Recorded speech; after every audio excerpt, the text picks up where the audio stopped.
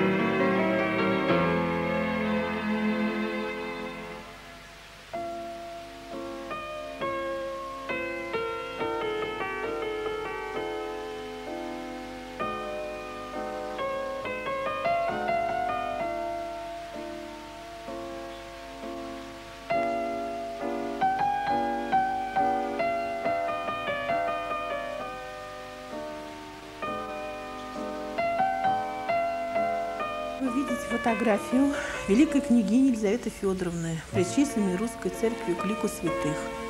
На фотографии ее автограф. Вот фотография с надписью рукой Николая. День нашей помолвки. 8 апреля 1894 года.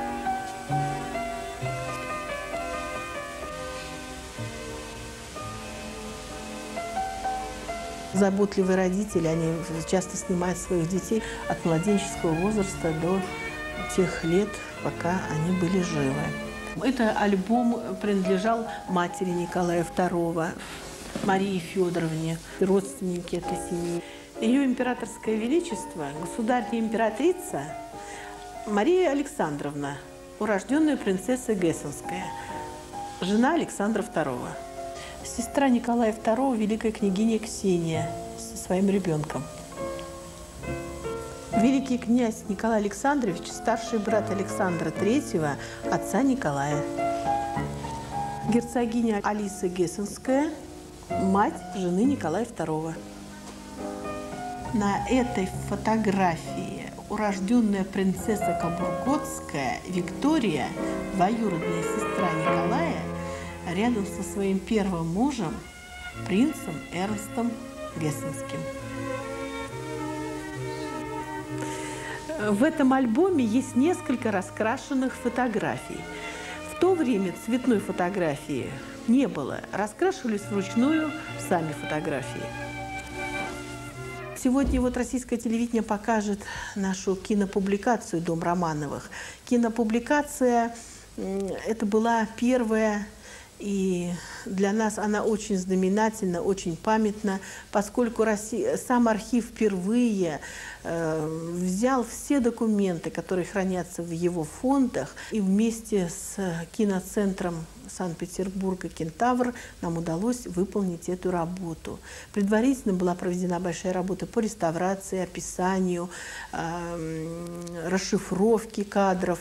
Э, много пришлось потрудиться, привлечь э, историков, привлечь специалистов по этой эпохе, по русской истории. Э, мне хотелось бы вам пожелать приятного просмотра. Мы ждем ваших откликов и надеемся, что такие просмотры будут и впредь.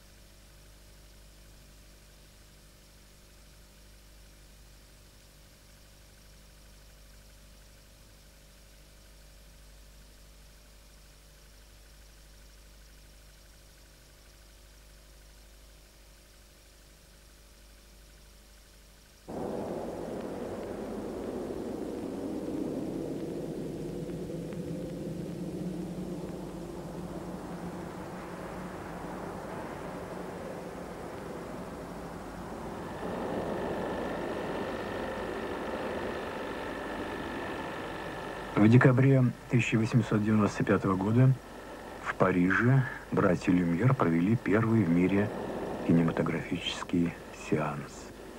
А на следующий год кинематограф пришел в Россию.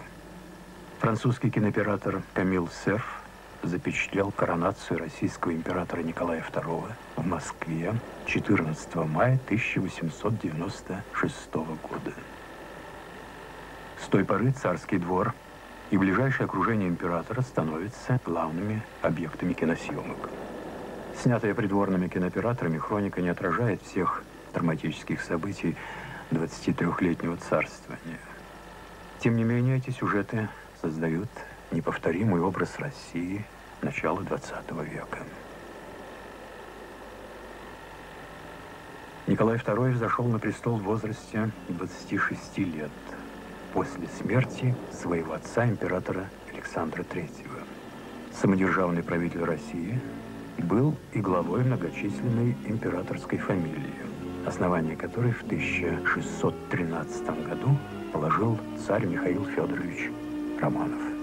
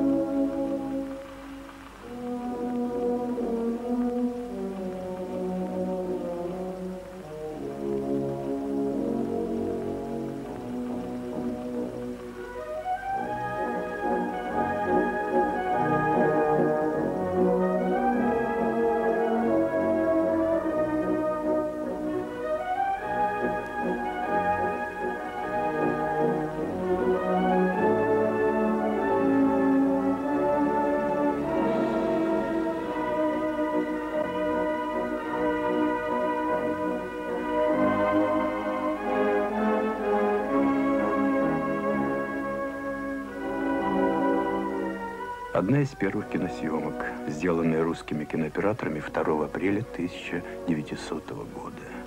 вербное воскресенье. Впервые за много лет государь проводит пасхальные дни в престольном граде Москве.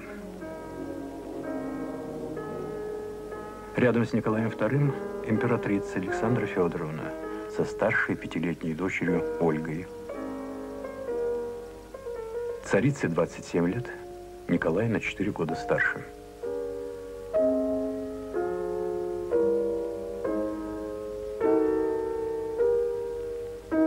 Александра Федоровна, немецкая принцесса Алиса Виктория Елена Луиза Беатриса из миниатюрного Гессенского герцогства была внучкой английской королевы Виктории.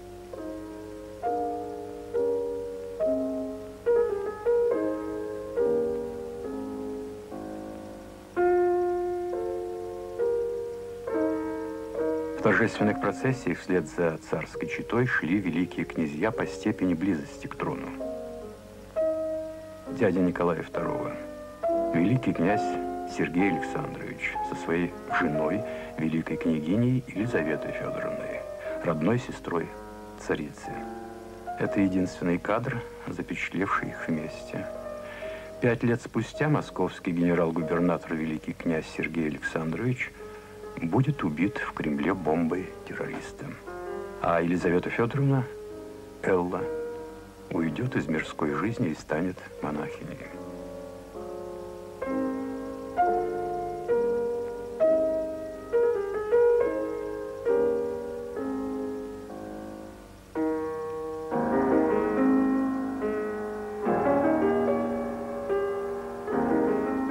За ними идет мальчик – великий князь Дмитрий Павлович, двоюродный брат Николая. В смутное время 1916 года станет соучастником убийства Распутина.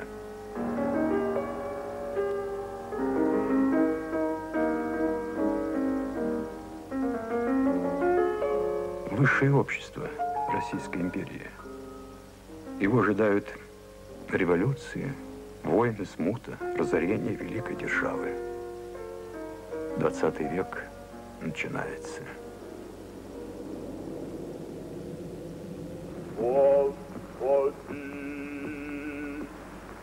спаси, благочестивые. Вы видите самые ранние съемки русского документального кино. Иконой Серафима Саровского и от его имени государь благословляет войска, отправляющиеся на оборону Порт-Артура.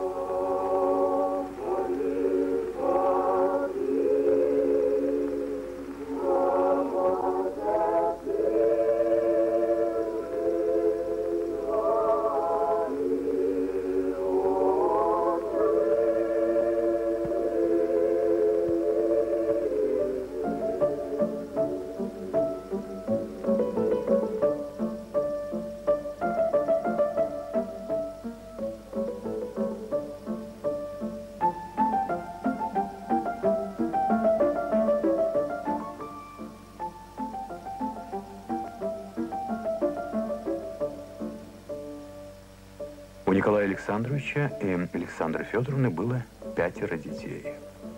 Младший Алексей, долгожданный наследник престола.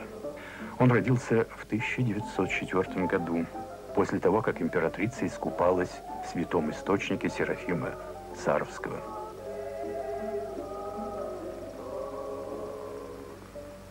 Девочки, дочери царя, великие княжны. Вот оглянулась Татьяна – Слева Анастасия, Ольга. И вот справа Мария –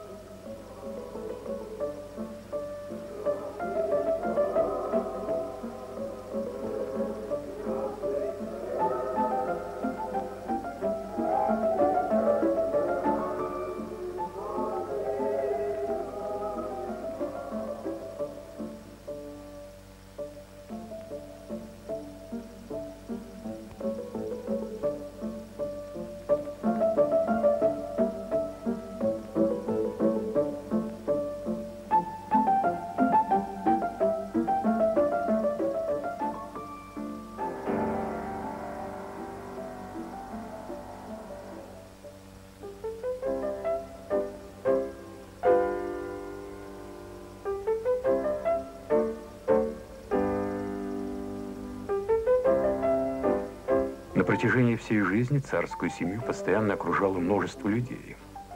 Камергеры и фрейлины, адъютанты и статсдамы, придворные. Двор был самым блестящим и изысканным в Европе.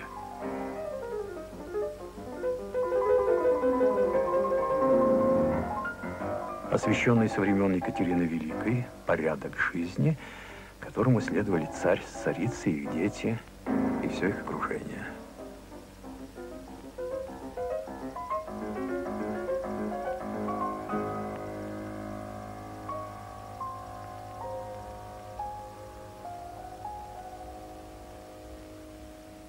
Осень 1909 года. Старый Ливадийский дворец.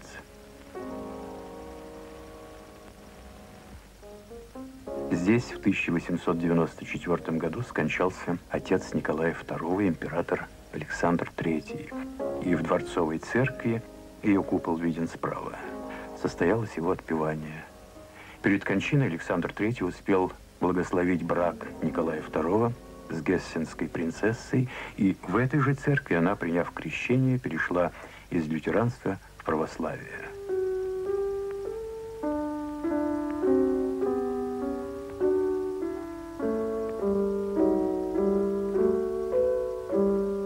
Мы не знаем, какое событие происходило в залах Ливадийского дворца. Возможно, это был высочайший завтрак у государя. Кинооператор попросил царскую семью и придворных – выйти на улицу для съемки. Низкая чувствительность пленки не позволяла ему снимать в помещении. И они позируют с удовольствием. –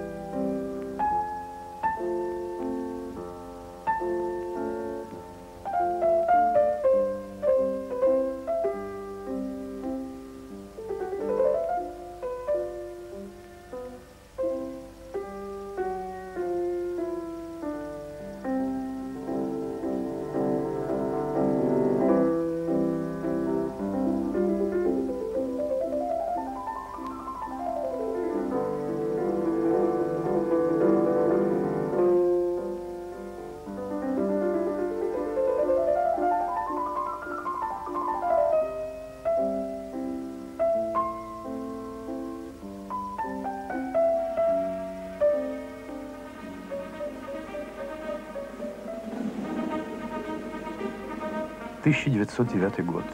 Знаменская площадь. В торжественной обстановке сын открывает памятник отцу, царю-миротворцу. Так нарекли Александра Третьего.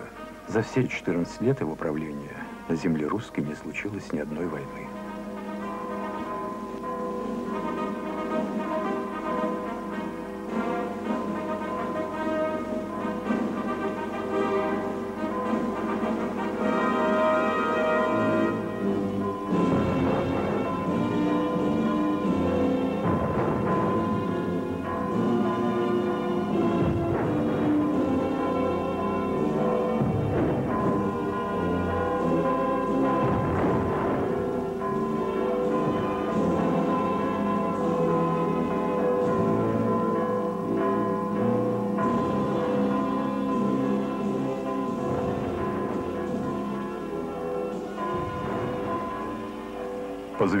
Церемонии государь покидал Петербург. Как ни странно, жизнь царской семьи лишь в малой степени была связана со столицей Российской империи. Их постоянным местом жительства было царское село в столичном пригороде.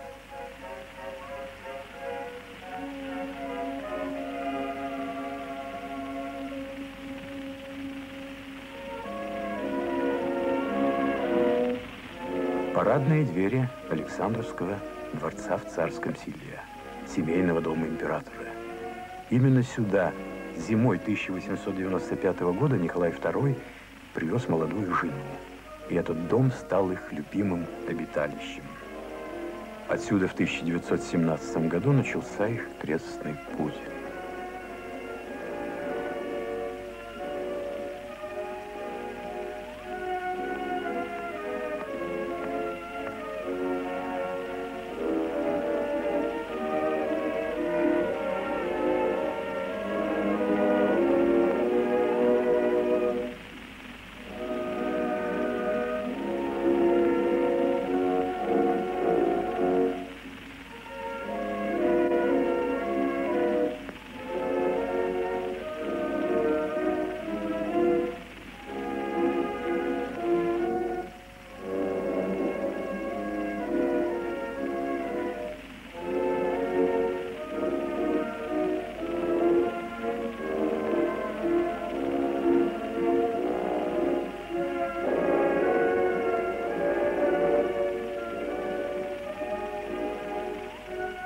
Парады в царском селе проводились чуть ли не каждый день. Выйти на плац перед императором было честью для полка или морского экипажа.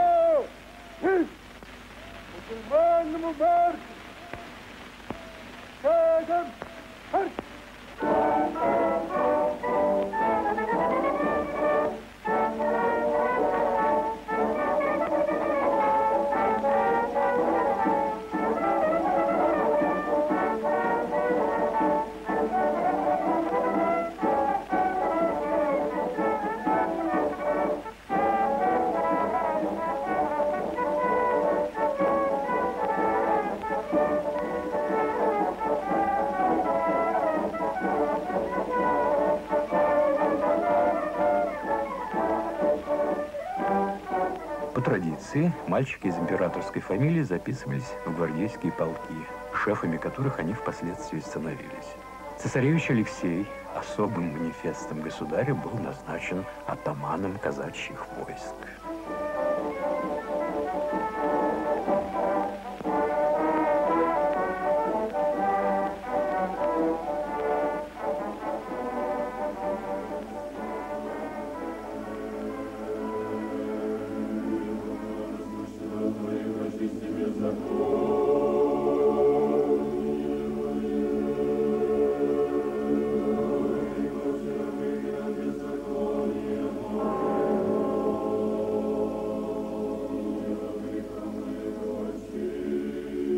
1909 году в Царском селе начиналось строительство собора, который был назван Федоровским.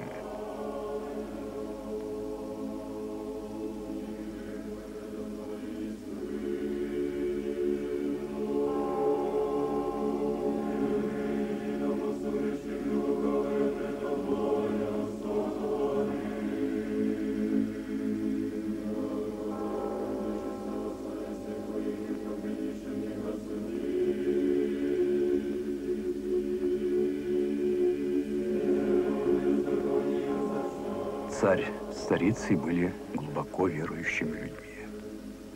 Федоровский собор стал их семейным храмом, который посещали и солдаты сводного пехотного полка и конвоя, несшие охрану в царском селе.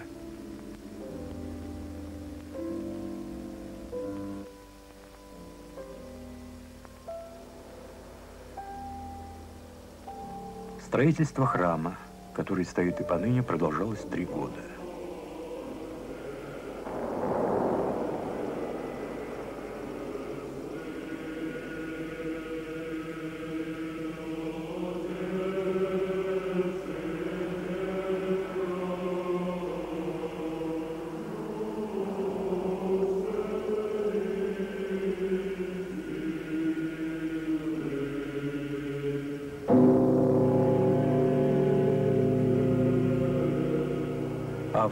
1912 года. Торжественная церемония освящения Федоровского собора.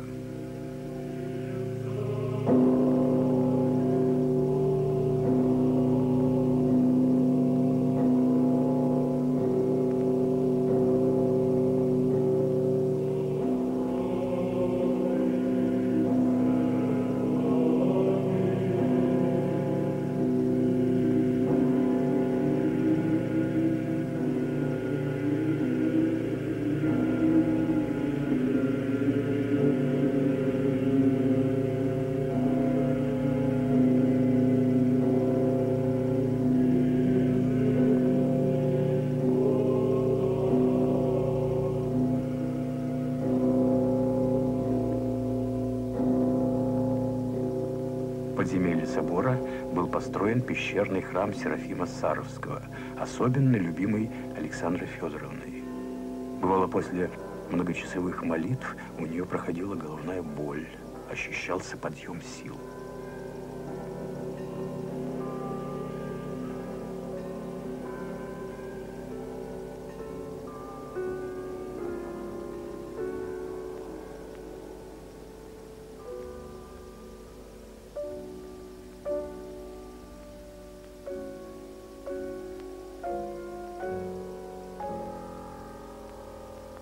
Царствования Николая II в России было построено и освящено более 10 тысяч церквей.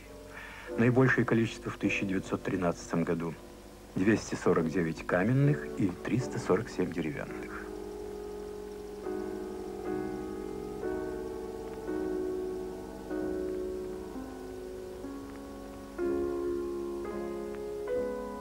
Собор был назван в честь иконы Федоровской Божьей Матери – который в 1613 году юный боярин Михаил Федорович был благословлен на царствие. Иностранные принцессы, переходившие в православие в доме Романовых, часто получали отчество по тому далекому предку Федоровны.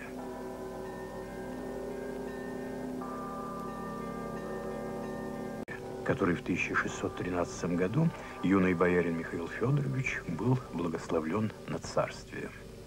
Иностранные принцессы, переходившие в православие в доме Романовых, часто получали отчество по тому далекому предку Федоровны.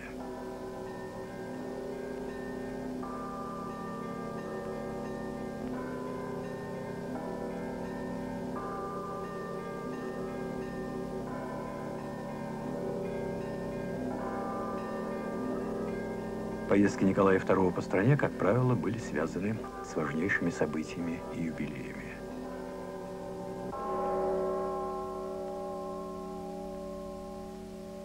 Двухсотлетия Полтавской битвы.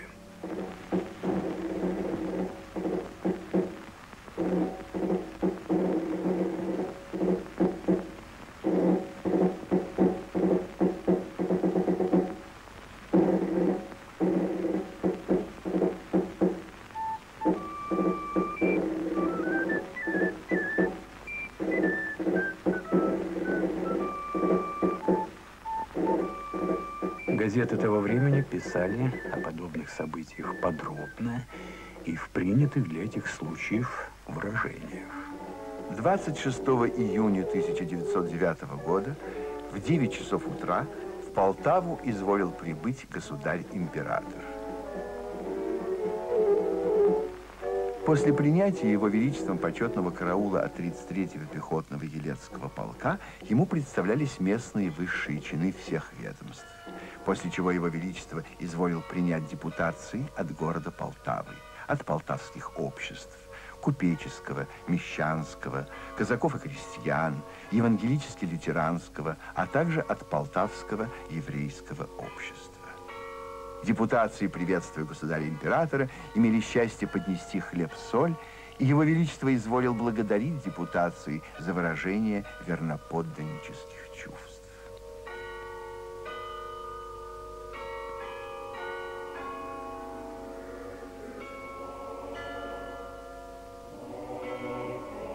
Затем государь-император в сопровождении великого князя Михаила Александровича отбыл на братскую могилу.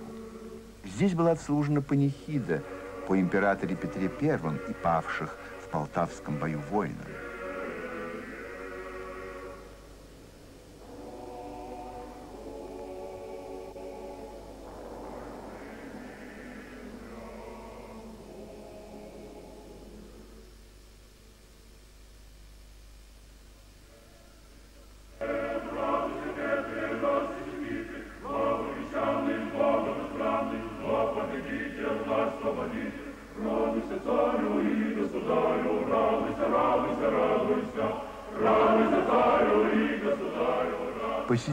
Затем церковь Петра и Павла, его величество при восторженных кликах выстроенного у выхода Петровского кадетского корпуса, воспитанниц местных женских учебных заведений и всех собравшихся, отбыл к построенным на поле войскам.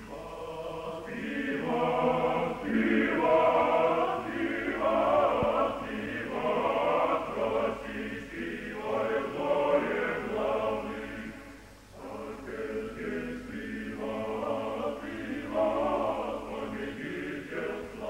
Императорская яхта «Штандарт» с их величествами государем-императором и государыней-императрицей Александрой Федоровной и августейшими детьми вошла в западную Двину и в два часа встала на якорь.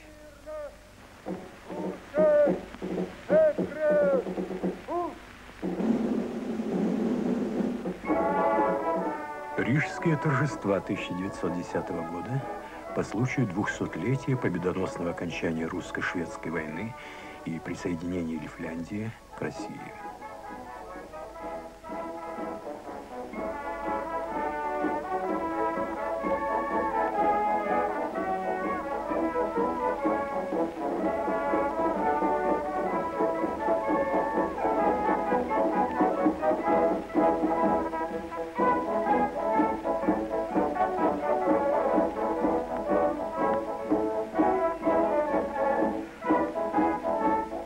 Приложении к кресту и окроплении святой водой государь-император стал обходить здоровые войска, построенные на пути к воздвигнутому памятнику и вокруг него. В это время среди радостных кликов народа и звуков народного гимна изволила прибыть государыня-императрица Александра Федоровна, занявшая место в шатре у памятника, к которому проследовал также государь-император. По совершении благодарственного молебствия, после возглашения вечной памяти императору Петру, с памятника упала завеса. После всего их величество с августейшими детьми при несмолкаемых кликах «Ура» отбыли на яхту «Штандарт», где состоялся в высочайшем присутствии завтра.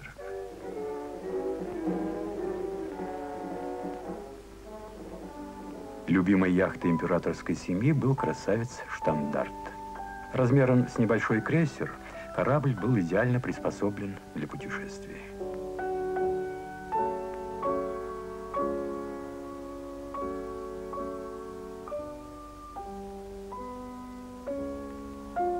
Царская семья свободно общалась с экипажем, знала многих матросов по именам, а судовые офицеры были непременными участниками царских трапез.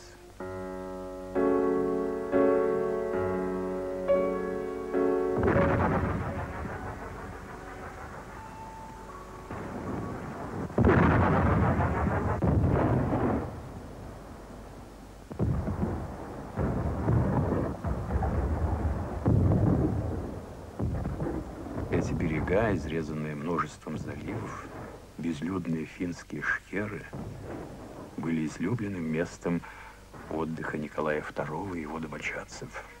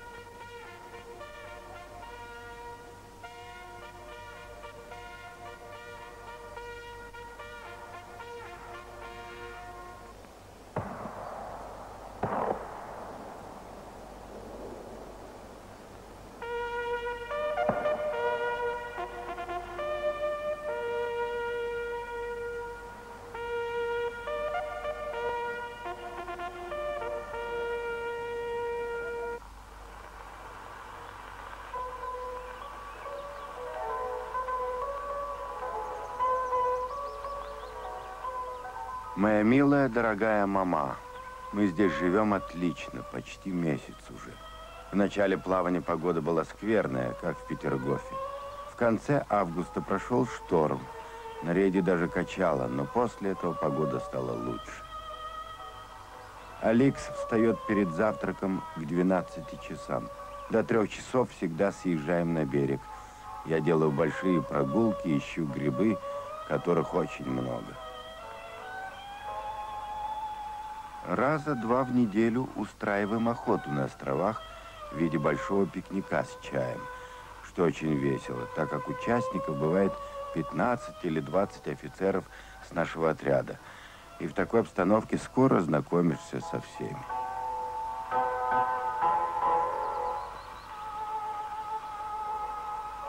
Дети наслаждаются так же, как мы, этой жизнью на яхте. По утрам их сводят гулять на остров – пока я катаюсь в байдарке. У Алексея был небольшой насморк с кашлем. Он четыре дня провел в каюте и теперь поправился. Возвращаемся на яхту до пяти часов. Обедаем в восемь часов и по воскресеньям играем в веселую игру «Строклет», или, как я называю, походный бильярд. Когда Алекс ложится спать около 11 часов, я часто хожу в кают-компанию и с учением играю там в домино вчетвером. Совестно сознаться, до которого часа это продолжается. Иногда я возвращаюсь к себе после двух часов ночи.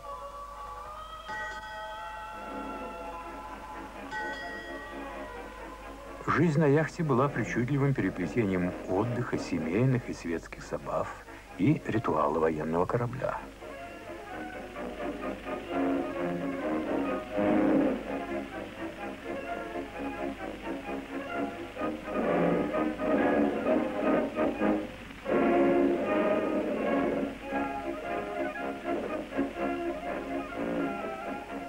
Традиционная на флоте проба пищи.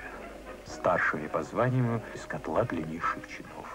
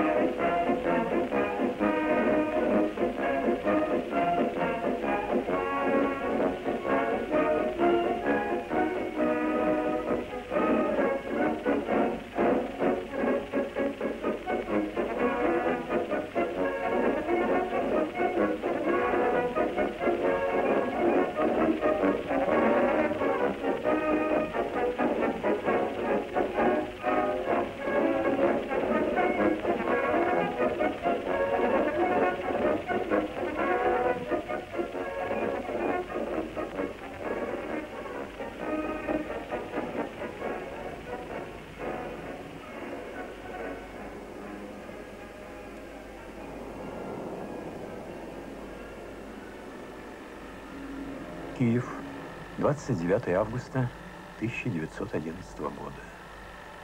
Государь прибыл сюда на открытие памятника своему деду, императору Александру II, названному освободителем за отмену крепостного права.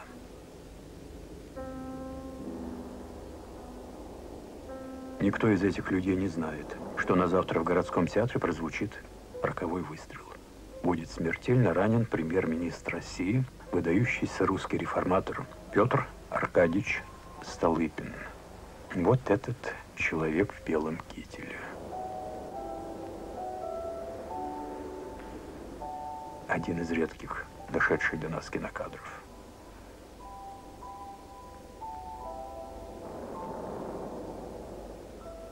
Эта трагедия произошла на глазах царя.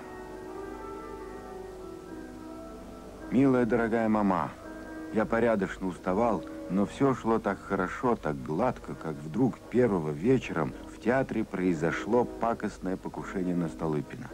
Ольга и Татьяна были со мною тогда, и мы только что вышли из ложи во время второго антракта.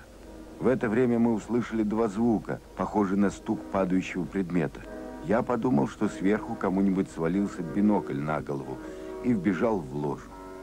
Вправо от ложи я увидел кучу офицеров и людей, которые тащили кого-то. Несколько дам кричало, а прямо против меня в портере стоял Столыпин.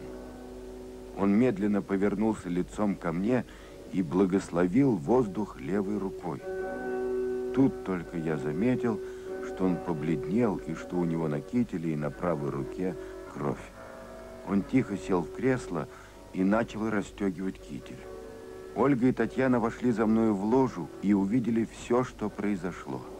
Пока Столыпину помогали выйти из театра, в коридоре рядом с нашей комнатой происходил шум. Там хотели покончить с убийцей. По-моему, к сожалению, полиция отбила его от публики. Потом театр опять наполнился, был гимн, и я уехал с дочками в 11 часов. Ты можешь себе представить, с какими чувствами.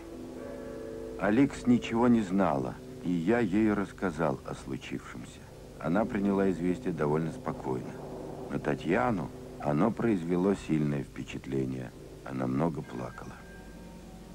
Бедный Столыпин сильно страдал в эту ночь, и ему часто впрыскивали морфий.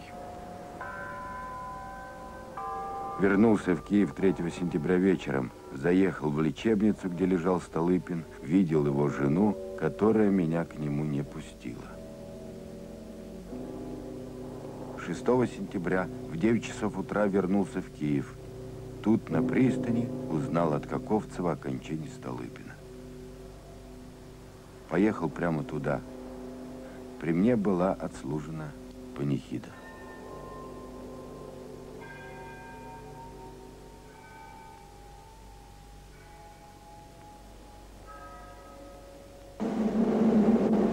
Уже день спустя, после киевской трагедии, государь прибыл в Крым, чтобы участвовать в торжествах по случаю годовщины обороны Севастополя.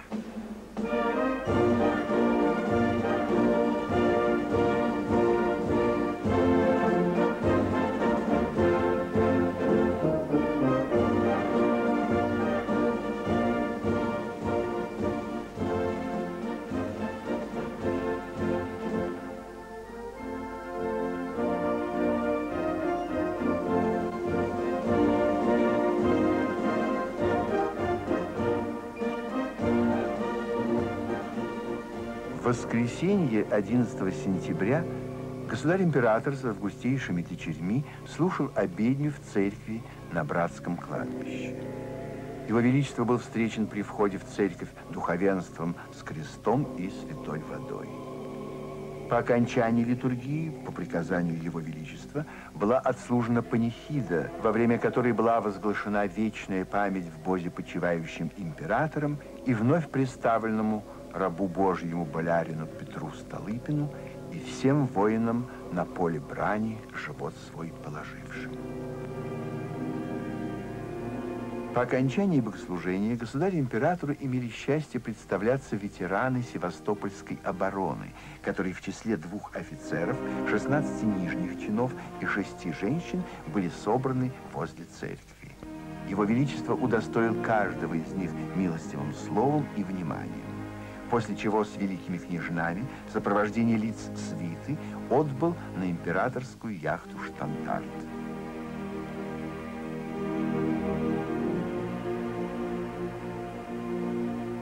Всюду его величество был восторженно приветствуем народом.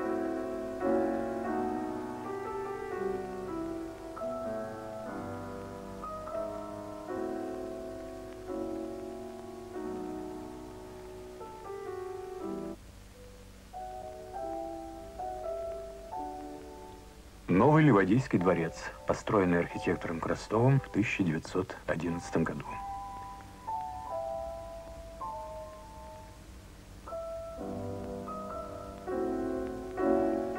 Жизнь в Ливадии мало чем отличалась от жизни в царском селе. Тот же своеобразный мир императорского двора со своим незыблемым придворным этикетом и протоколом.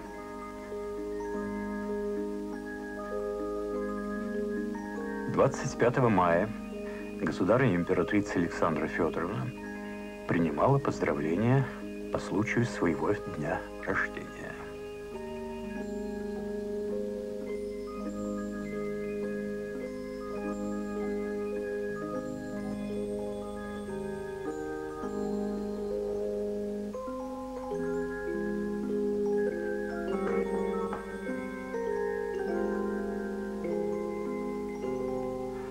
Александра Федоровна обожала цветы и специально подбирала их для каждой из комнат дворца.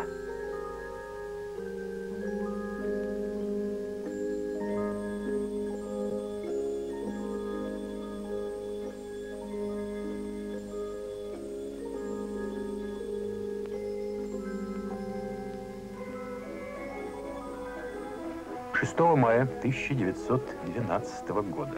День рождения государя-императора. В честь этого парад собственного его величества конвоя.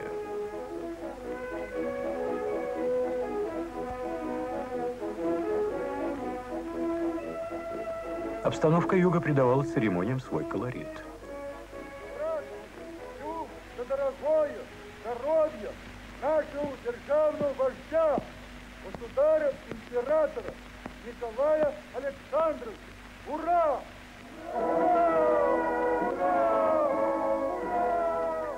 Высочайший завтрак для офицеров Крымского конного полка. Стоит напомнить, что в России в это время выпускалось 100 сортов водки, а любимой закуской государя был поросенок с хреном.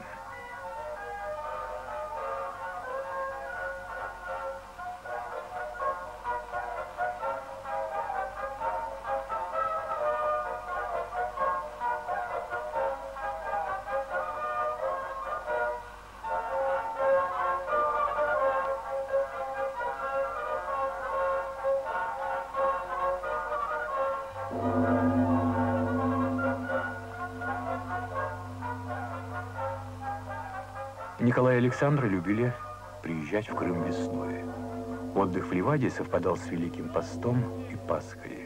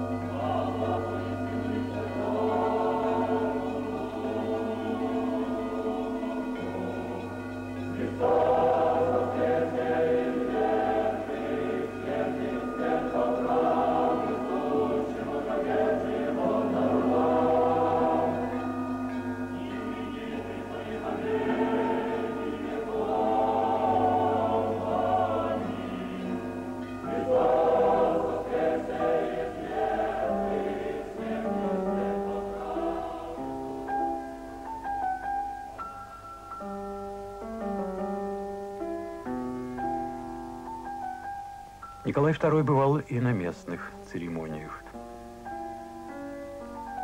Вместе с Марией он приезжает на освящение церкви в санаторий для детей, больных чехоткой. Подобные санатории существовали в России на специально собираемые благотворительные средства.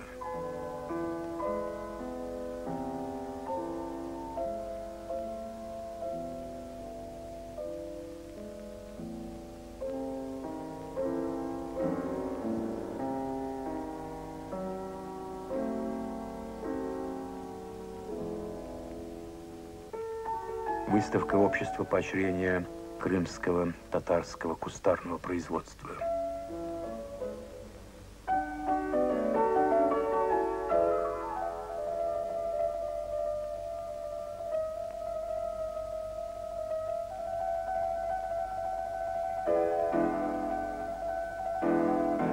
Государь-император, продолжая поездку по Таврической губернии, в четыре с половиной часа дня изволил остановиться в имении Аскания Нова Фальцфейна, того самого Фальцфейна, который основал в соседней Херсонской губернии первый в России заповедник.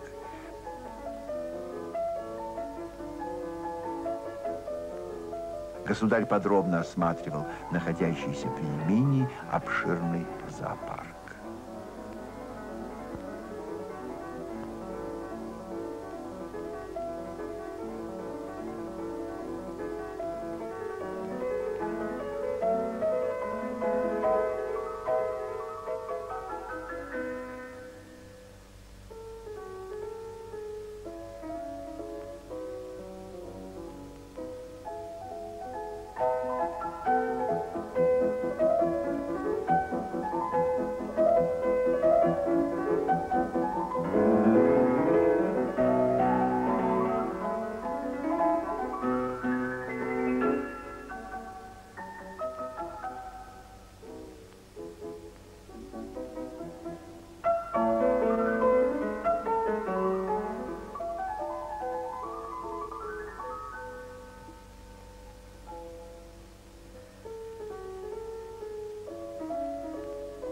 Пребывание в Крыму начиналось в Севастополе, откуда на штандарте царская семья отправлялась в Ливадию.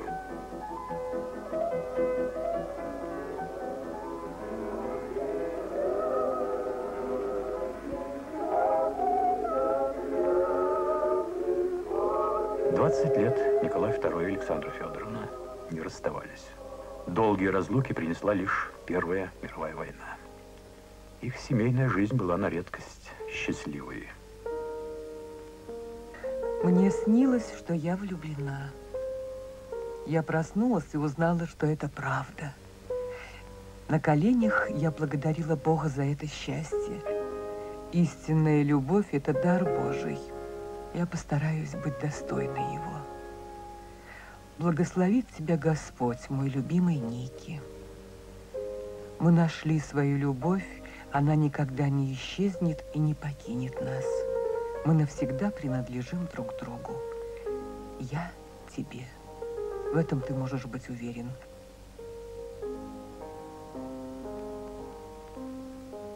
Не верится, что сегодня двадцатилетие нашей свадьбы. Редким семейным счастьем Господь благословил нас. Любовь моя, мне страшно не достает тебя больше, чем может выразить мой язык мое возлюбленное солнышко, как мне благодарить тебя за два твоих милых письма и за лилии. Я прижимаюсь к ним носом и часто целую. Мне кажется, те места, которых касались твои милые губы. Дорогой мой, мысленно вижу тебя лежащим в купе и осыпаю твое лицо нежными поцелуями.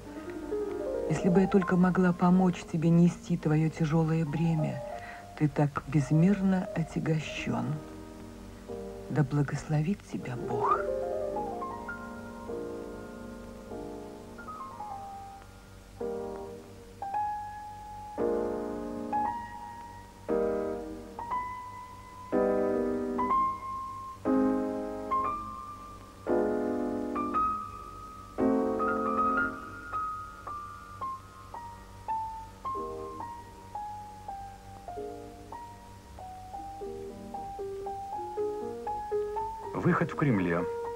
Случаю открытия памятника императору Александру Третьему. На этот раз Александра Федоровна идет позади Николая II, а он ведет под руку свою мать, вдовствующую императрицу Марию Федоровну. Датчанка по национальности, она не очень любила жену своего сына, немку. У Марии Федоровны было предчувствие, переросшее с годами в уверенность, что Алиса Гессенская не может сделать сына Николая по-настоящему счастливым и стать любимой русским народом царицей. В окружении Марии Федоровны молодую царицу за непреклонный характер обидно прозвали гессенской мухой. Будучи на 25 лет старше Александры Федоровны, мать Николая II выглядела всегда удивительно молодо и изящно.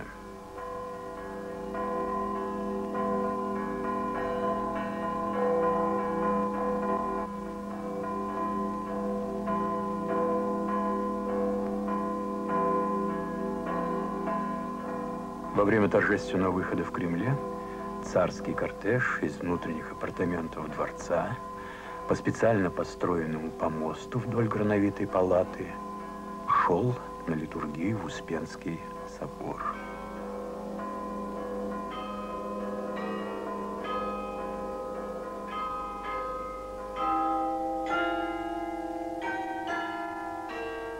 Тридцатого мая состоялось в высочайшем присутствии открытие и освящение памятника императору Александру Третьему, сооруженного близ храма Христа Спасителя.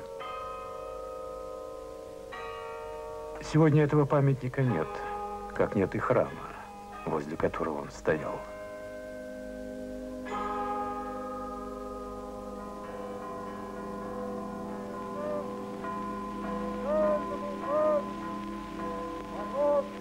Во время молебствия с памятника спала завеса, войска отдали честь и раздался салют. Государь-император лично повел войска, салютуя памятнику, после чего изволил занять место у подножия его.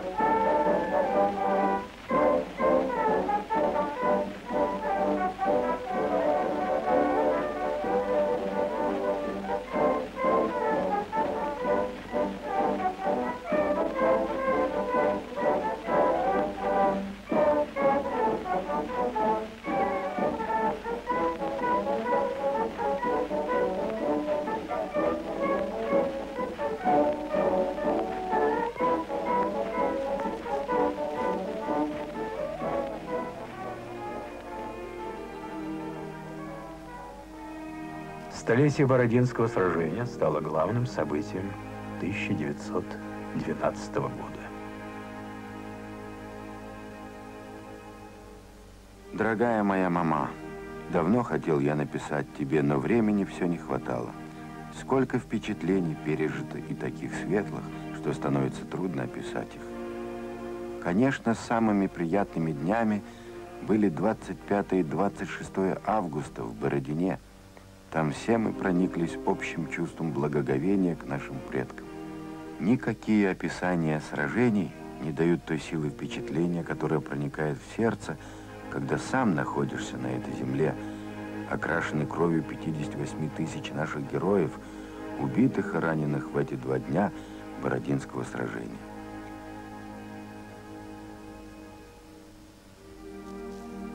В довершение всего – удалось привести несколько стариков, помнящих пришествие французов. Но самое главное, между ними находился один участник сражения, бывший фельдфебель Войтенюк, 122 лет. Подумай только, говорить с человеком, который все помнит и рассказывает всякие подробности боя, показывает место, где был тогда ранен и так далее. Я им сказал стоять рядом с нами у палатки во время молебна и следовать за нами.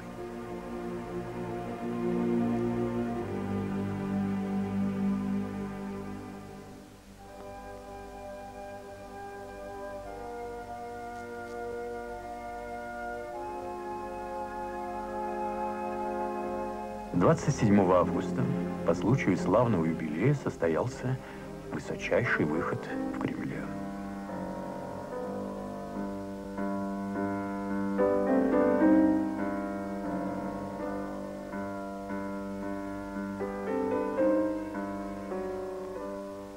Следом за царской четой брат Николая II, великий князь Михаил Александрович, ведет царевну Ольгу Николаевну.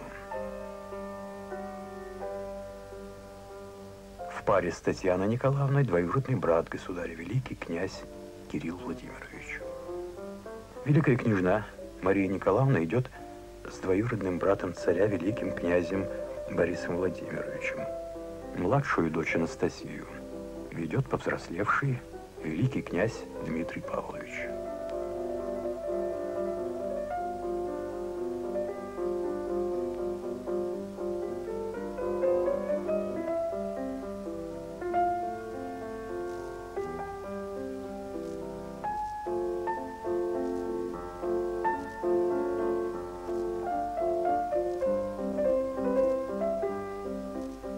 После службы в Успенском соборе праздничная процессия двигалась Чудов монастырь, чтобы поклониться мощам особо почитаемого московского святителя Алексея.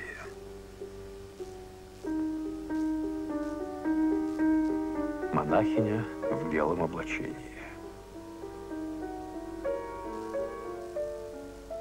Элла, великая княгиня Елизавета Федоровна, принявшая после убийства мужа монашеский постриг – и учредившая в Москве знаменитую своими делами милосердия Марфа Мариинскую обитель. Благотворительность, помощь больным и страждущим стали смыслом ее жизни.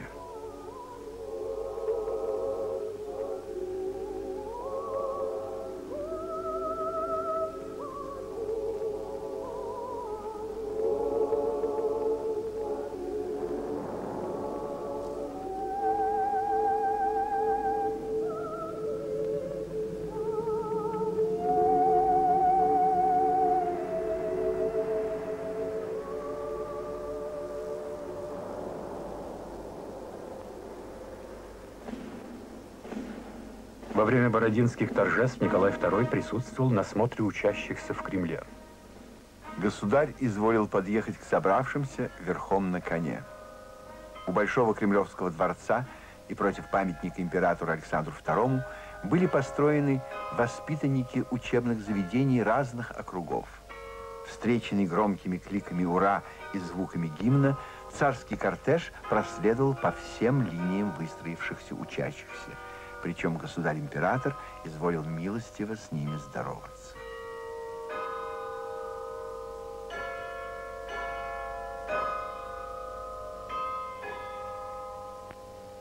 Воспитанницы женских учебных заведений демонстрировали сокольские упражнения. Затем государь пропустил всех находящихся в строю учащихся церемониальным маршем и удостоил милостивого спасибо каждое учебное заведение. Учащиеся отвечали по-военному «Рада стараться, Ваше Императорское Величество». По окончании церемониального марша Его Величество и Их Величество подъехали к месту расположения хора у Чудова монастыря – Хор исполнил «Славься, о наш русский царь».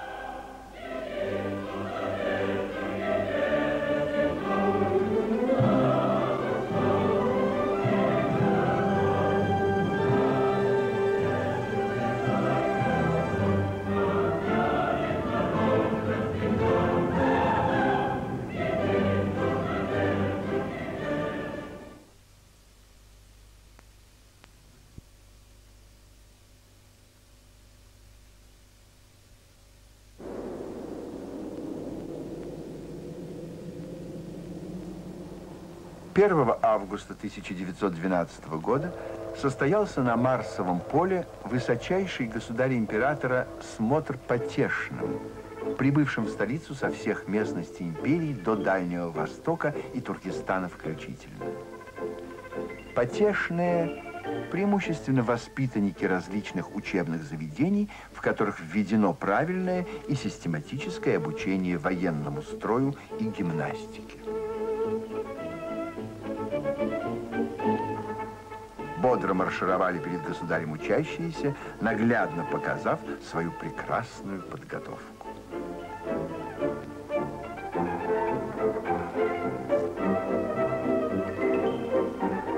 Государь-император и августейшие дети смотрели различные упражнения потешных. Общее внимание привлекли корейцы в белых костюмах.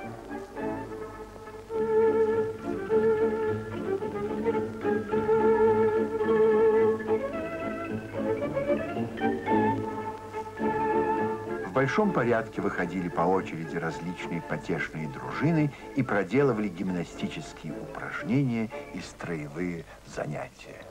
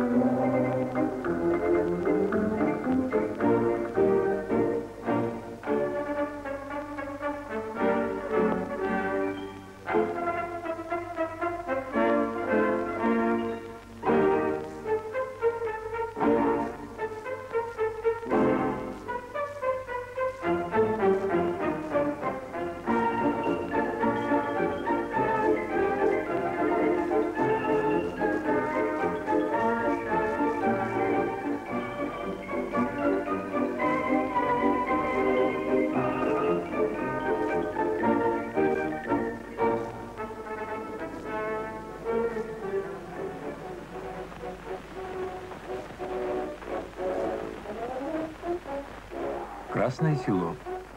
Место проведения смотров, учений и маневров войск Петербургского военного округа.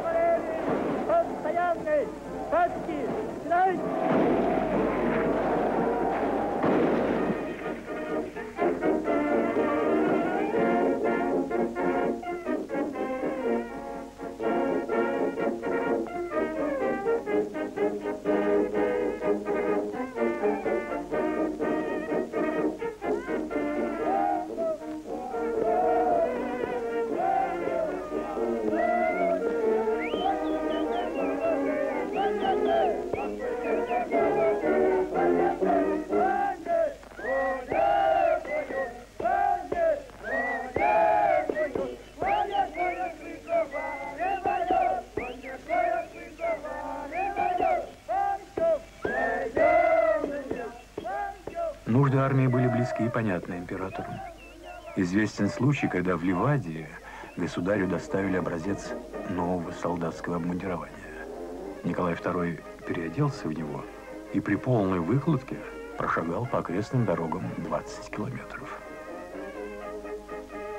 К моменту коронации Николай II дослужился до полковника.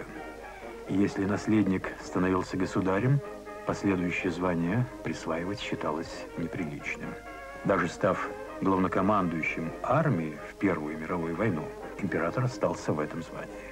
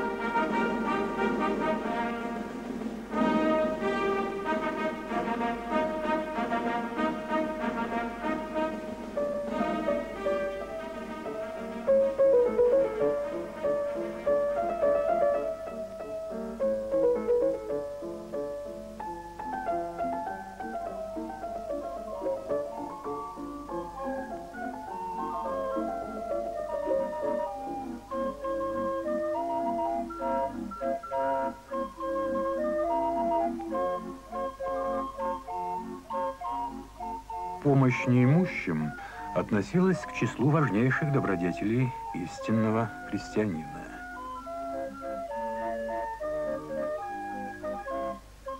В России был особый день, день белого цветка, когда вся страна собирала пожертвования на нужды приютов и больниц. Участие царской семьи делало это событие особенно значительным.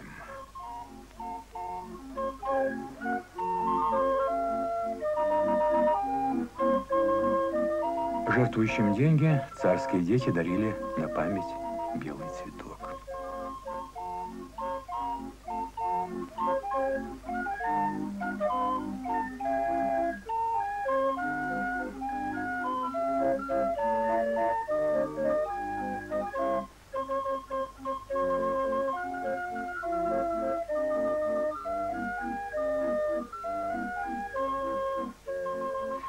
Целям служили организуемые императрицей и дамами из общества благотворительные базары, на которых удавалось собирать значительные средства.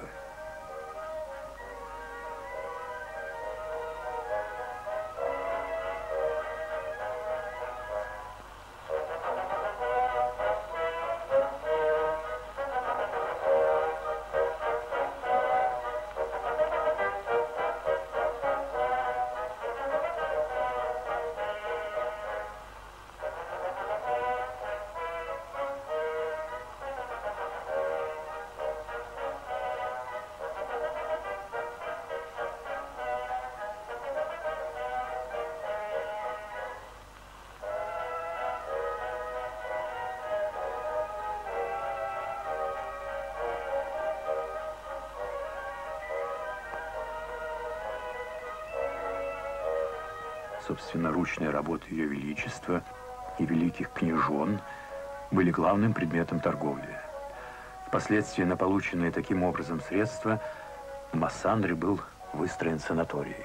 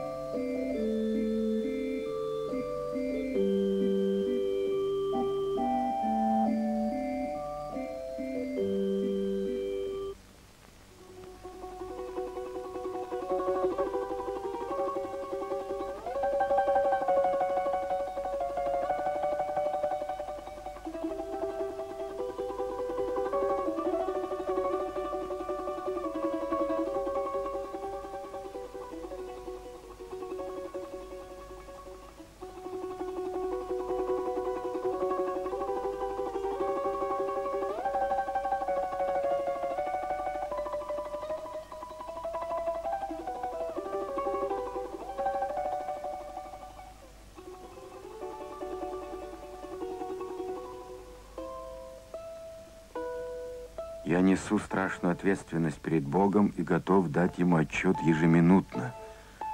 Но пока я жив, я буду поступать убежденно, как велит мне моя совесть. Я не говорю, что я всегда прав, ибо всякий человек ошибается. Но мой разум говорит мне, что должен так вести дело. Мы должны передать Бэби крепкое государство, и ради него не смеем быть слабыми, иначе у него будет еще более трудное царствование, так как придется исправлять наши ошибки и крепче натягивать вожжи. Пусть наше наследство будет для Алексея легче. У него собственная сильная воля и ум – мы Богом возведены на престол, и мы должны твердо охранять его и передать неприкосновенным нашему сыну.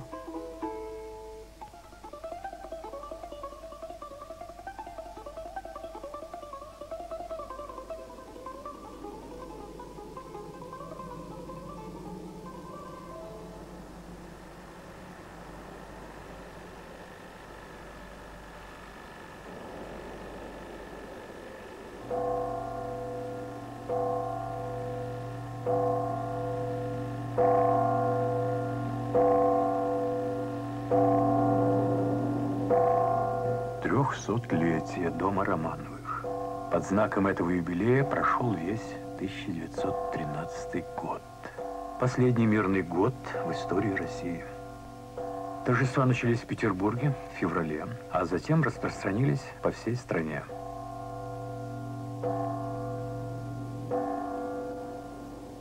Это не было праздником лишь венценосной фамилии. Многоликая империя чествовала свое прошлое, думая о стабильном настоящем, надеясь на благоденствие в будущем.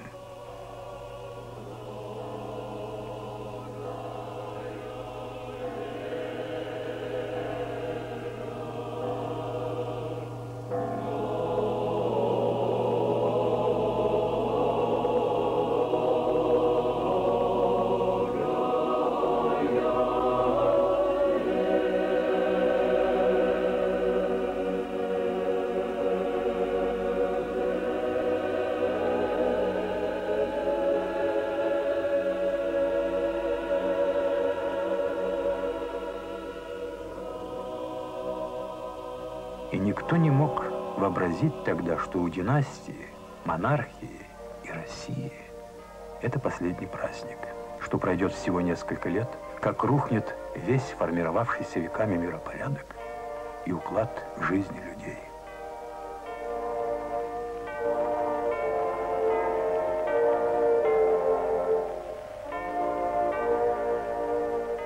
Летом царская семья совершила паломничество по памятным местам, связанным с воцарением первого из Романовской династии Михаила.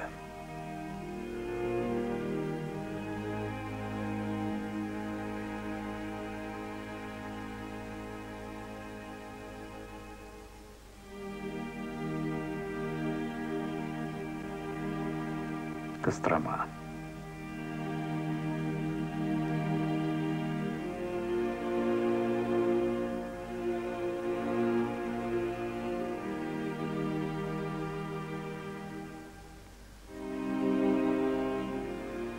Здесь, в Костроме, юный боярин Михаил Романов был призван на царствование и благословлен фамильной иконой Федоровской Божией Матери.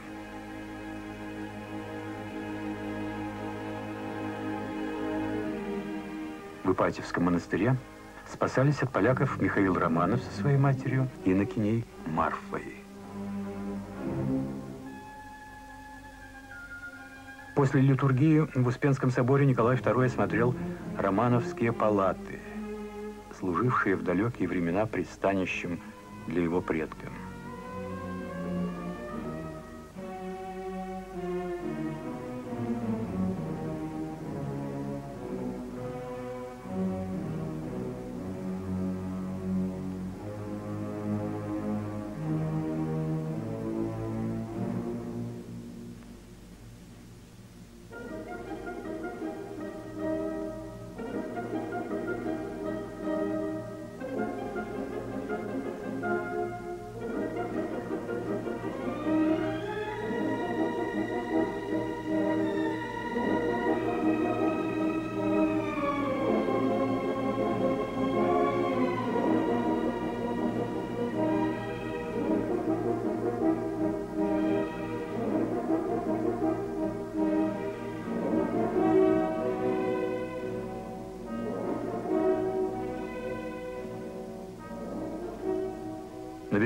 Волги, рядом с царским шатром, состоялась торжественная закладка памятника 300-летию царствования дома Романовых.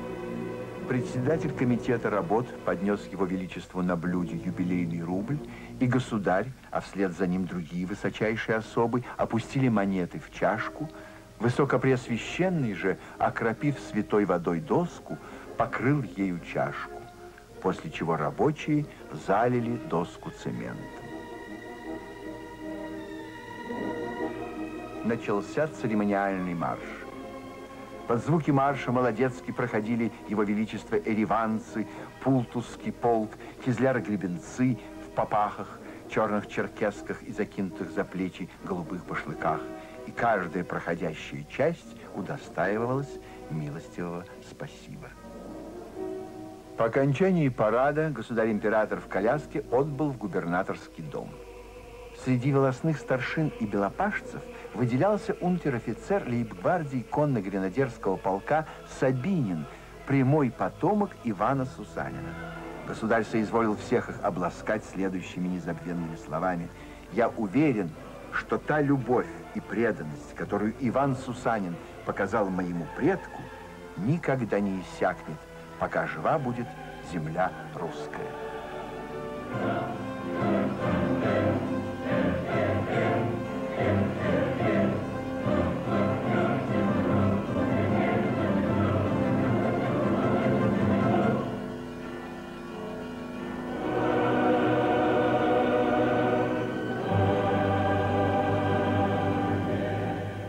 Нижнем Новгороде под водительством Минина и Пожарского было сформировано народное ополчение, давшее отпор польским захватчикам в 1613 году. Памятник народным героям, модель которого осматривает государь, так и не был поставлен.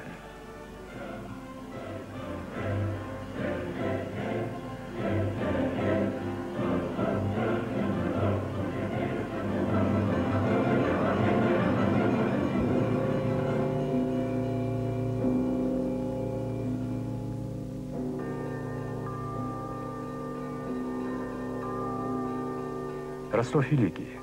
Здесь когда-то митрополитом был отец Михаила Романова.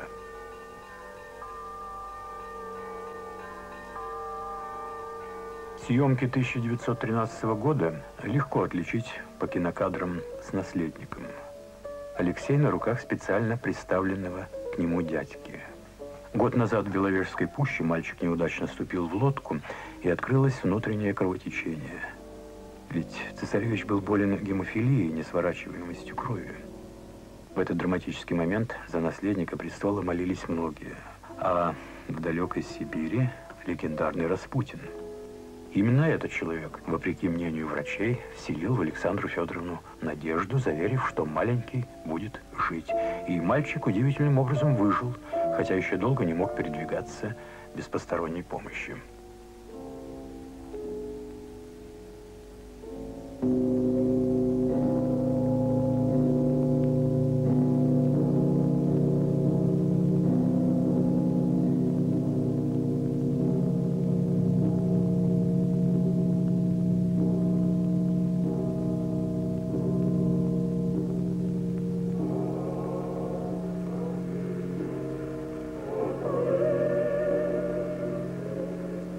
Последним пунктом царского паломничества в честь 300-летия дома Романовых стала первопрестольная Москва.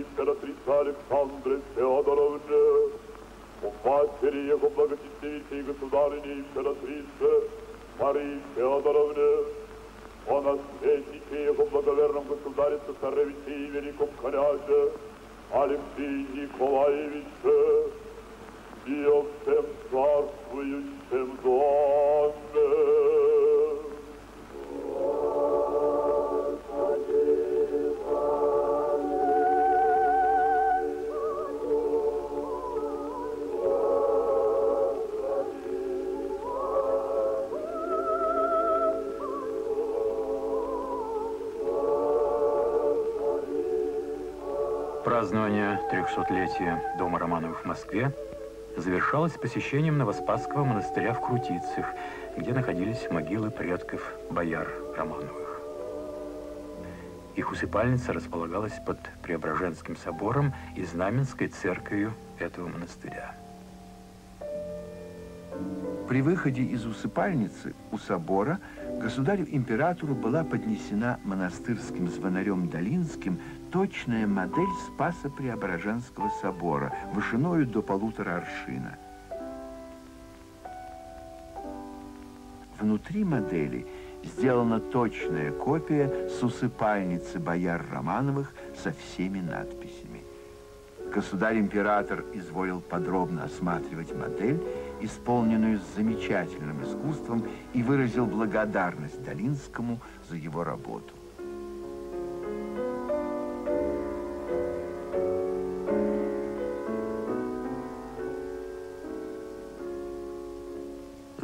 Века династия Романовых из небольшого боярского рода разрослась в представительную императорскую фамилию, связанную кровными узами чуть ли не со всеми царствующими домами Европы. Родственником российского императора был будущий заклятый враг России, германский император Вильгельм II. Вот он, с кошачьими усами и в каске. Вилли приходился Николаю II двоюродным братом.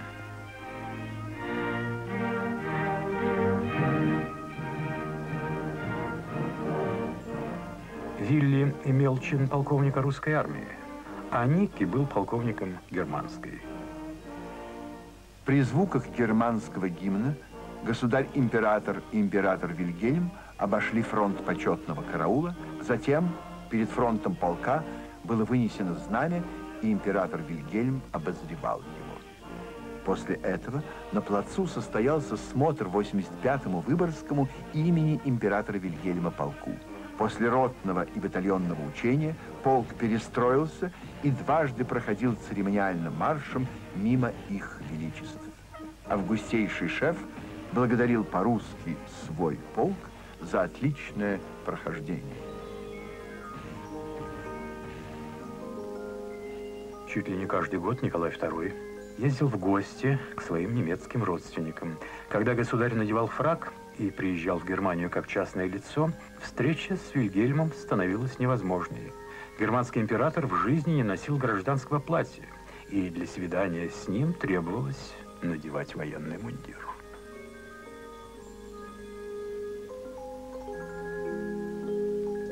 Визит в Румынию.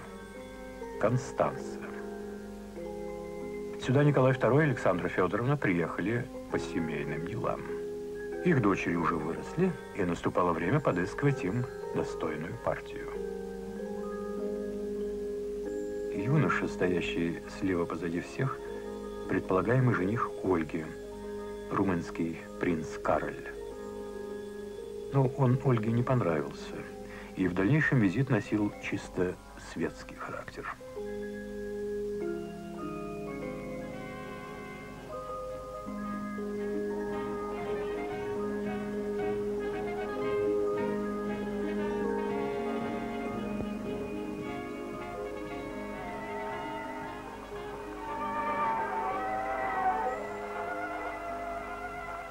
Понимаете, как трудны браки в царствующих домах.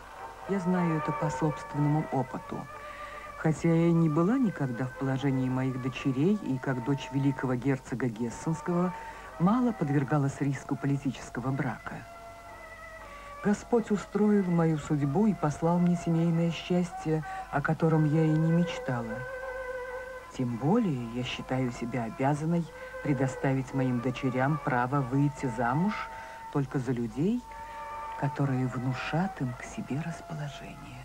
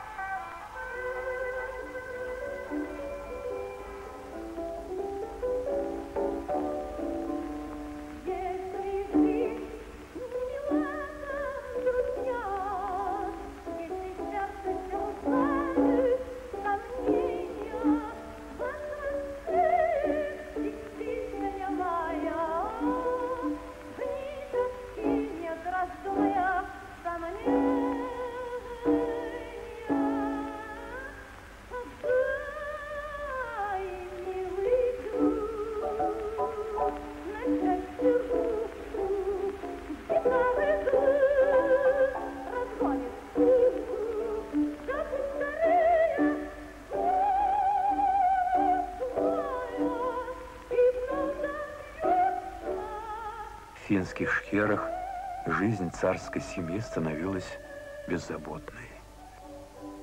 Омрачала отдых болезнь наследника.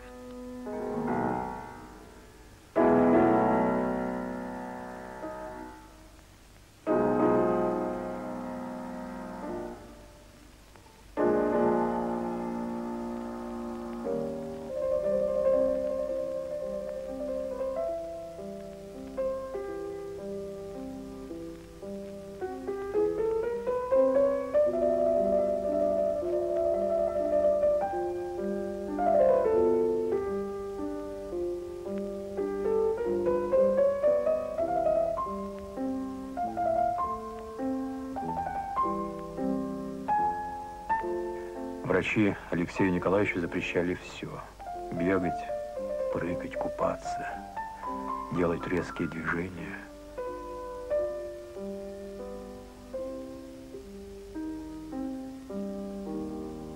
А он рос похожим на всех других мальчишек. Удержать его было совершенно невозможно. Хотя он подвергался ежеминутно риску, риску смертельного ушиба.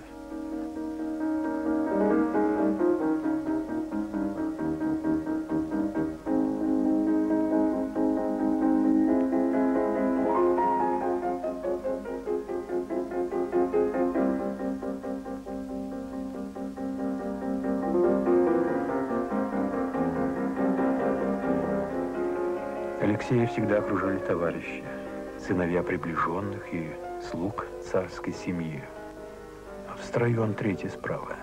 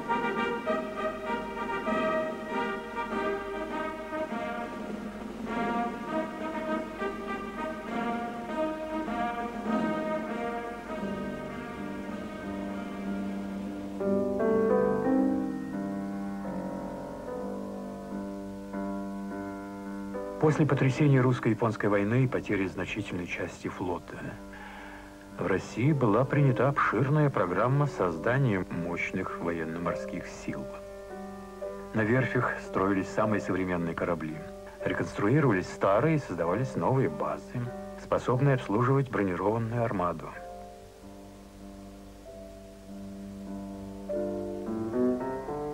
Один из таких портов и был заложен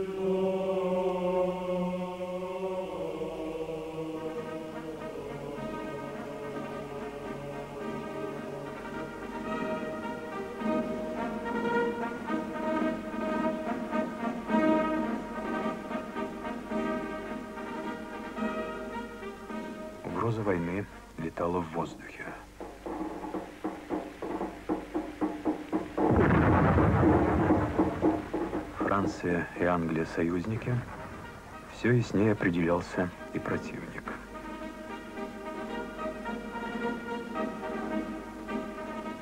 Двадцатого июля, 1 августа по новому стилю 1914 года началась мировая война. Хороший день, в особенности в смысле подъема духа. В два с половиной часа отправились на Александрию в Петербург и на катере прямо в Зимний дворец. Подписал манифест об объявлении войны. Из Малахитовой прошли выходом в Николаевскую залу, посреди которой был прочитан манифест и отслужен молебен. Затем мы вышли на балкон на Александровскую площадь и кланялись огромной массе народа.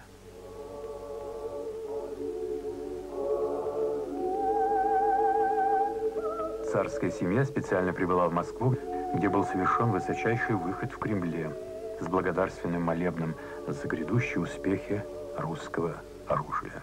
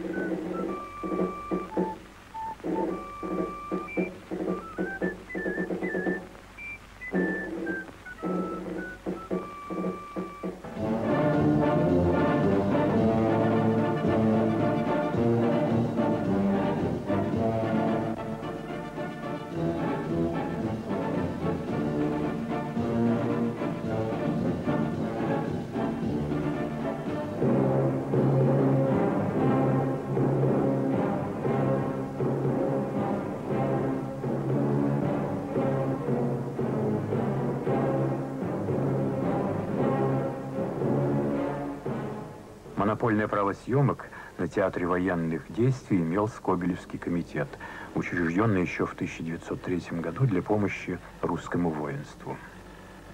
Первые военные киножурналы. Царская ставка, близ города Барановича. Верховным главнокомандующим русской армии рескриптом императора был назначен великий князь Николай Николаевич.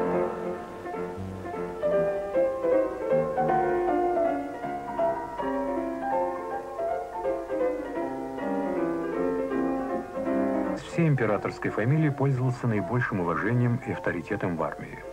Его отец Николай Николаевич Старший был в свое время фельдмаршалом.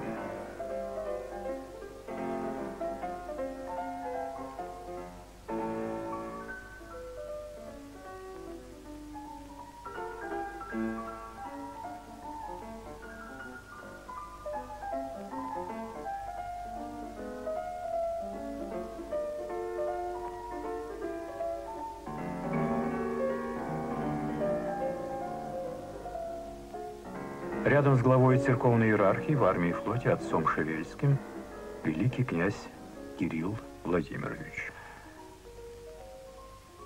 Внук Александра II, кузен императора Николая, в 1924 году в Париже он будет провозглашен императором. Великий князь Кирилл Владимирович – отец нынешнего претендента на российский престол Владимира Кирилловича.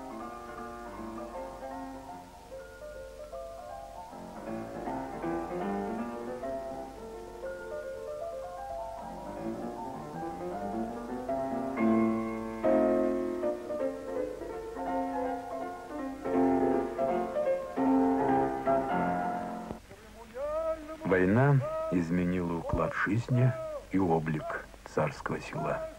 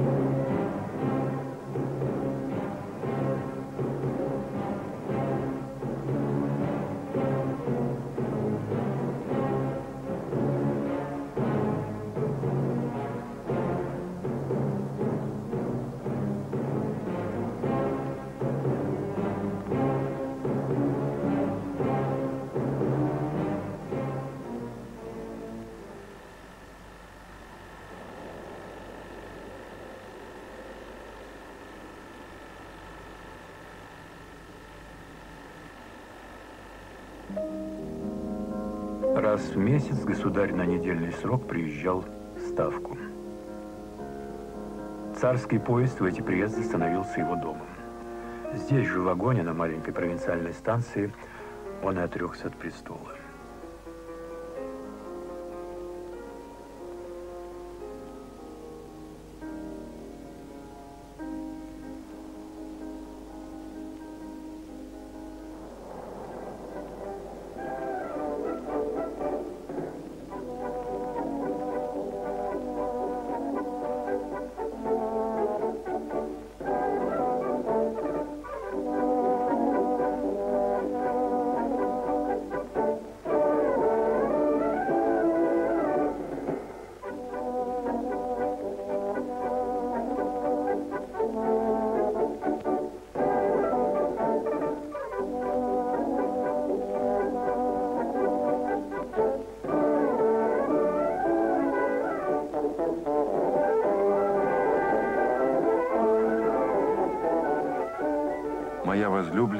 Дорогая женушка, в Барановичах моим красавцам-казакам роздали георгиевские кресты.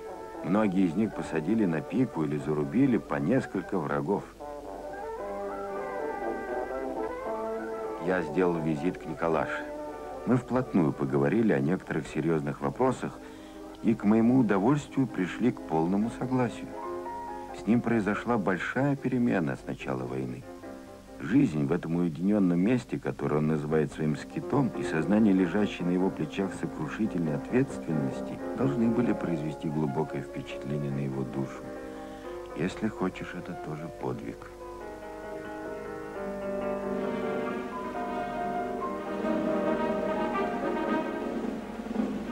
Мое возлюбленное солнышко, сейчас в эту самую минуту Николаша вбежал в мой вагон, запыхавшись и со слезами на глазах, и сообщил о падении Перемышля. Благодарение Богу, после нескольких унылых месяцев эта новость поражает, как неожиданный луч яркого солнечного света и как раз в первый день весны.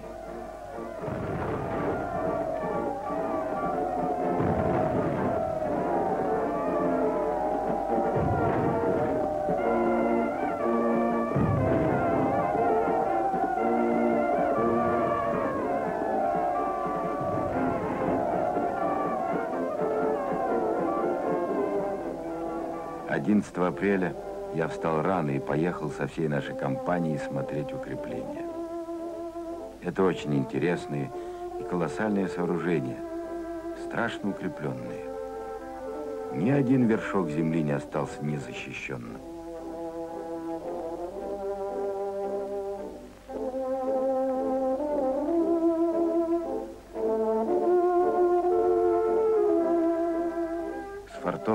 Открываются красивые виды. Они сплошь покрыты травой и свежими цветами. Посылаю тебе цветок, который я выкопал кинжалом Граббе. Погода все время стояла великолепная. Ники.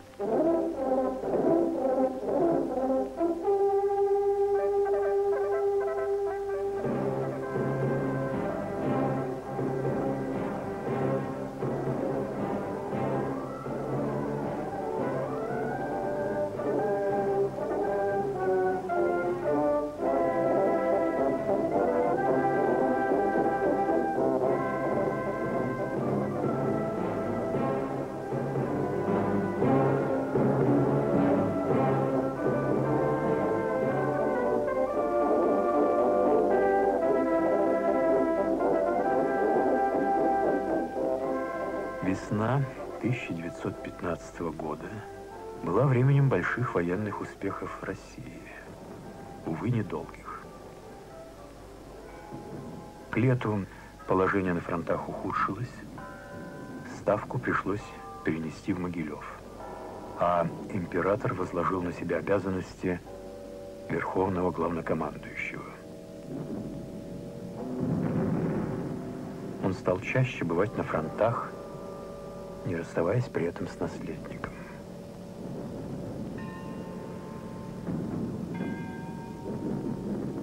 За посещение передовых позиций на Юго-Западном фронте императору был пожалован орден Георгия четвертой степени, а Алексей награжден Георгиевской медалью.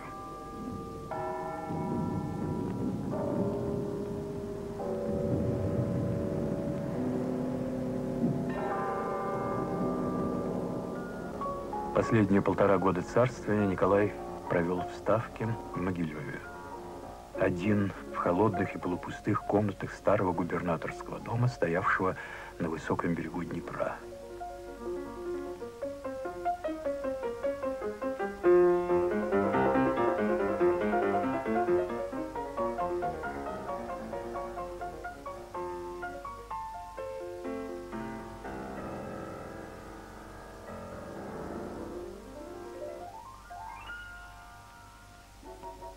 Александра Федоровна с девочками бывала в Ставке лишь наездами, ненадолго. Большую часть времени работая фельдшерицей в царско-сельском госпитале.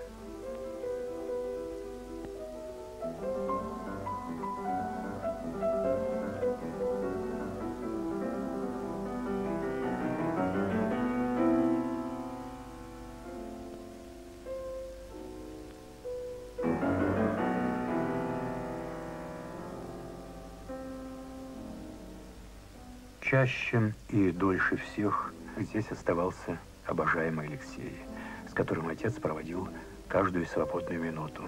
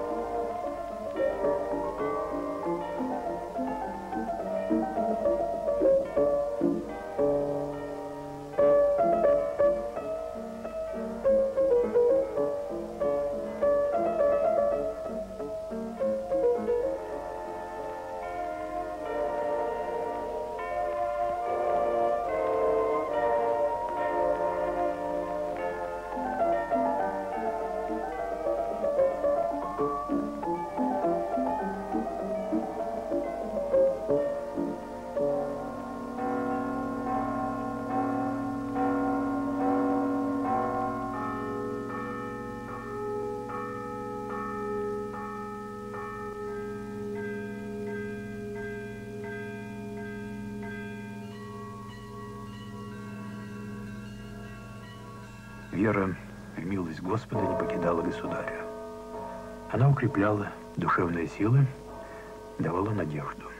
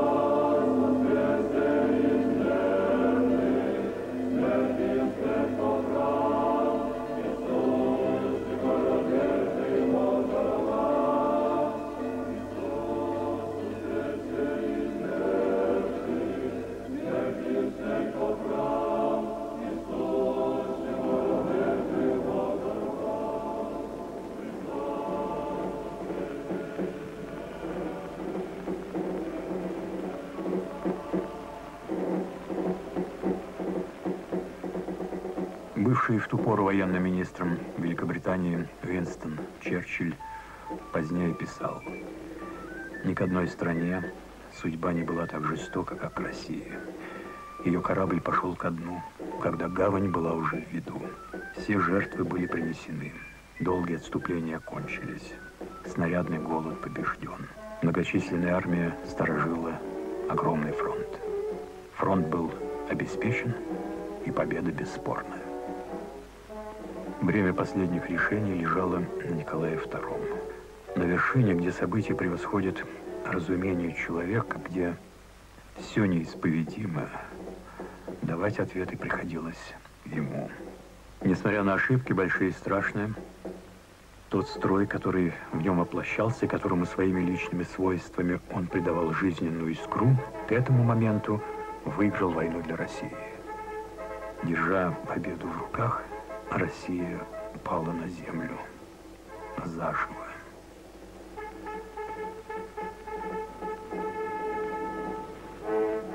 Последний раз царскую семью снимали осенью 1916 года. В царской ставке в высочайшем присутствии состоялся церковный парад конвою, сотни которого в очередь несут боевую службу на фронте. Георгиевские кресты и медали на груди многих казаков наглядно говорили о славном походе. Государь-император с наследником цесаревичем обходили казаков, поздравляя с праздником. Было отслужено молебствие с возглашением царского многолетия и вечной памяти всем живот свой положившим на поле брани. Его императорскому величеству благоугодно было обратиться к своему конвою со следующими милостивыми словами. Мне отрадно было убедиться в том, что и в нынешнюю войну мой конвой оказался на высоте своей старой доблести и храбрости и поддержал вполне славу своих